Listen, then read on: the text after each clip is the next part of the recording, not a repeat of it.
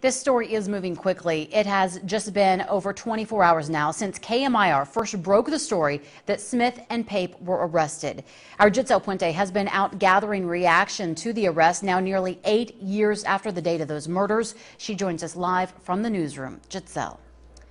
Elizabeth, I was in Salton City today where one of the suspects, Robert Pape, was arrested by the Riverside County Sheriff's Department yesterday. Now, today I spoke with several residents in the area who were shocked to find out that this suspect in a triple murder case was arrested in their neighborhood.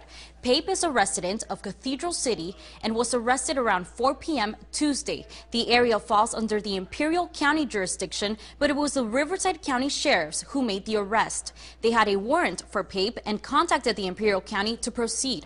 According to an investigator, the suspect worked at DCS Air Conditioning in Thousand Palms.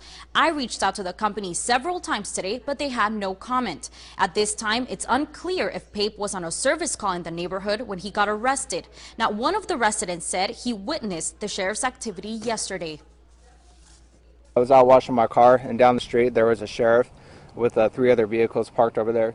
So there was a little bit of commotion going on. Uh, that was about it. It lasted probably about uh, 45 minutes. The other suspect in the Pinyon Pines murders is Kristen Smith, and he was arrested at Palm Springs International Airport.